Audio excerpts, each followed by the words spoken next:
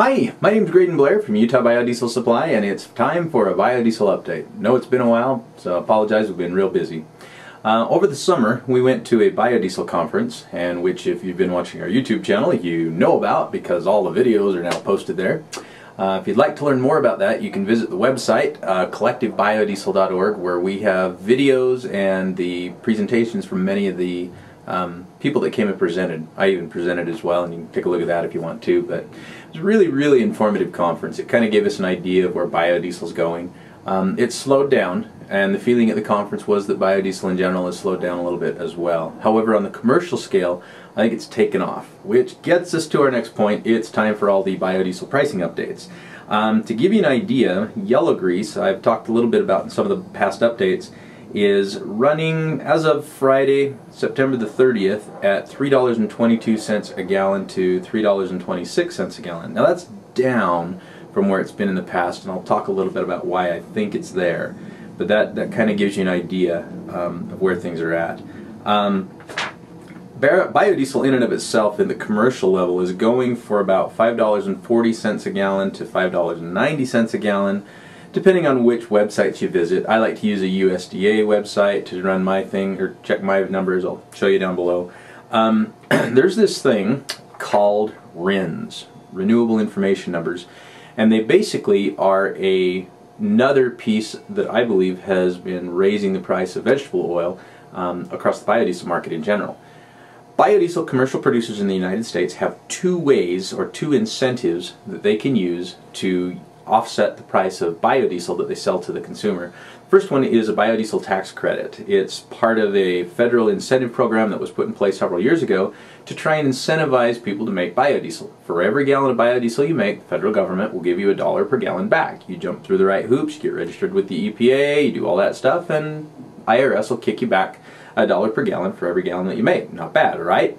Well, Along comes something else called RINs, which is part of RFS2, which is the renewable fuel standard that the EPA put out. Now, the second, RFS2 uh, was different um, in how things were tracked and such, but basically what it mandated was that in the United States we would use 800 million gallons of biodiesel within 2011.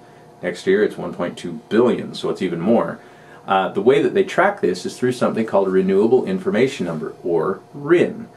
How it works is you as a producer can get registered with the EPA. Um, you have to have a third-party engineer come out and verify your system, making that you're making quality biodiesel, and then you can start generating these RINs um, on their website. So for every gallon of biodiesel that you produce, a RIN number can be tied to it. And that's how the EPA measures how much biodiesel commercially is being produced in the United States.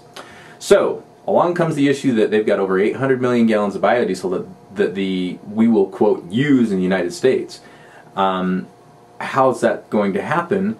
Uh, there's mandates put in place that different companies have got to sell that much biodiesel.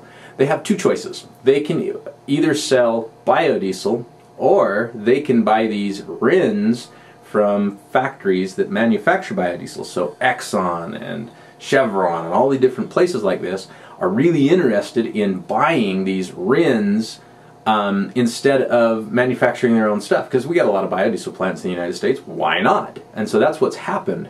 Um, so how it works is for every gallon of biodiesel uh, you can generate that you produce, you can generate 1.5 RINs. Okay, and those RINs can now be sold, bought and sold on the open market.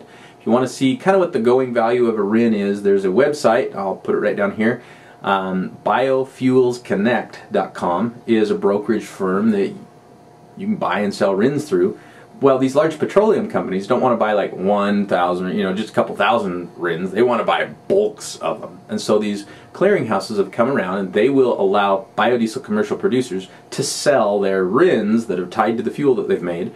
And um, they will aggregate them and sell them to people like Chevron and different things like that. Well, we only have about, oh, 500 million gallons worth of capacity in the United States to make biodiesel. There's a problem. EPA says we need 800 million. Low supply, huge demand, price differential in the RINs. So RINs are running and have been uh, historically running about a dollar ninety per RIN for biodiesel. Remember, biodiesel per gallon is equal to 1.5 RIN, so that's something like two, uh, 280 a gallon or something. It's just some amazing amount. So I've been looking at uh, RINs right now. We're dropping down in how much those RINs are worth. Uh, right now, as of today, through Biofuels Connect, the value is $1.47 uh, per RIN or $1.52 per RIN, so kind of an average. Or in other words, for biodiesel, uh, $2.21 to $2.28 per gallon. So, biodiesel producer can do two things on their biodiesel. They can get the dollar per gallon tax credit, which expires at the end of this year. Um, I don't think Congress is going to be uh, is going to renew it, nor does anyone else that I've spoken to. But as of right now, they can get a dollar per gallon on that fuel. Plus, for all the RINs that they sell, they can get two dollars and twenty-one cents to two dollars and twenty-eight cents a gallon. That's three dollars and twenty-one cents a gallon for the biodiesel money that they can get before they've even sold the biodiesel. Not bad, if you ask me, which is obviously generating a lot of interest in biodiesel. Isn't it interesting that the price of waste vegetable oil on the market is sitting right about $3.22 or $3.26 a gallon? Hmm. Price of oil is right about what the price of all those incentives are. So basically, biodiesel plants are getting that money or that oil for free or close to free um, because the rendering companies are just gobbling up that incentive that was there. That's part of why the price of vegetable oil in the United States shot so high. In some of my other videos, I talked about that um, the dollar per gallon tax credit was part of it, but when you add in the RINs, you get a good feel for that. And you can kind of see it in the charts if you visit the websites. Again, the website will be down here.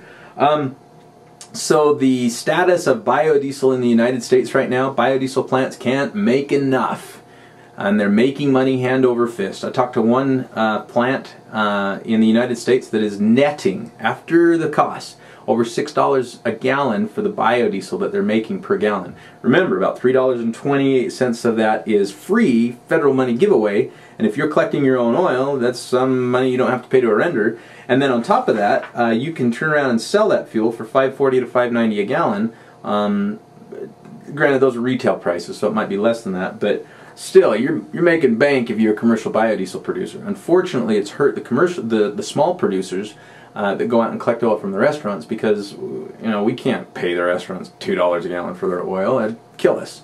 Some people I've talked to are doing that, but that's that's the realistic. Um, that's really what's going on. Is these renders are paying the restaurants quite a bit for the oil because they know they can get the money for it if they sell it um, to biodiesel plants. So that's kind of the state of biodiesel in the United States. Again, at the end of this year, I expect the dollar per gallon tax credit to go away. I've seen RIN values dropping like a rock. Uh, about two weeks ago, it was $1.90 per RIN. Uh, as of Friday, we're $1.47 per RIN. There's a couple things that might be feeding into that. Um, I'm not sure. Some people think that there was a new mandate um, about Canada being able to import more fuel into the United States, United States, and a couple of other things. We'll have to watch it and find out, and I'll kind of let you know. In other biodiesel related news, some of the new products that we have coming on, we are having a new yellow drum lid. It's a snap top lid that will go right over top of 55 gallon drums. Uh, watch our website for that. Um, it's uh, It was a request we had. Um, they make them for both open top and closed top drums, so that's coming. Another thing, we've got a new drying tank that we have um, started building plans for and will also be releasing as well. Um, basically, it's a very simplified method of building a dry wash tank out of a 55 gallon drum, uh, a one inch pump, and some fittings. Uh, we wanted to keep it cheap, and hopefully we've achieved that, and you'll, you'll get to see that if you watch the website. Um, we also have a new stainless steel mesh screen we have wanted one of these ever since we started, and every biodieseler I've ever talked to has wanted one of these. It's basically a screen that will fit down inside a barrel. It's made of all stainless steel. It's got mesh on the side, mesh on the bottom, and it hooks right to the drum so you can pour da-da-da, super hot oil through it, which means that you don't have to melt the poly filters that we do carry and have carried for years and years. Um, you can put hot oil in there. Um, I've already talked to a lot of customers. We've had a lot of interest in it. People are already planning on putting it behind restaurants. Um, we'll see how it goes, but that that is coming. We the interest was great enough that we're going to build that.